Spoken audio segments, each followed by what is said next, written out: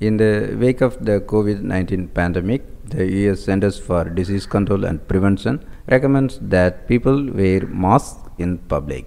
Because N95 and surgical masks are scarce and should be reserved for healthcare workers, many people are making their own coverings. Now, researchers report in the journal ACS Nano that a combination of cotton with natural silk or chiffon can effectively filter out aerosol particles if the fit is good.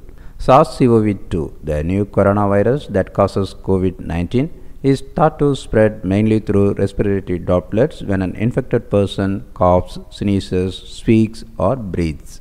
These droplets form in a wide range of sizes, but the tiniest ones, called aerosols, can easily slip through the openings between certain cloth fibers, leading some people to question whether cloth masks can actually help prevent disease.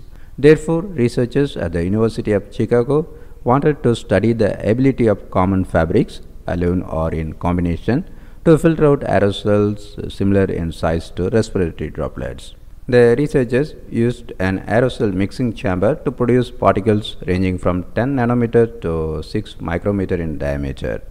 A fan blew the aerosol across various cloth samples at an airflow rate corresponding to a person's respiration at rest. And the team measured the number and size of particles in air before and after passing through the fabric. Although the filtration efficiencies for various fabrics when a single layer was used ranged from 5 to 80 percentage, the efficiency is improved when multiple layers were used and when using a specific combination of different fabrics. One layer of a tightly woven cotton sheet combined with two layers of polyester spandex chiffon, a sheer fabric often used in evening gowns, filtered out the most aerosol particles that is 80 to 99 percentage depending on particle size with performance close to that of an N95 mask material. Substituting the chiffon with natural silk or flannel or simply using a cotton quilt with cotton polyester padding produced similar results. The researchers find out that tightly woven fabrics such as cotton act as a mechanical barrier to particles, whereas fabrics that hold a static charge, like certain types of chiffon and natural silk, serve as an electrostatic barrier.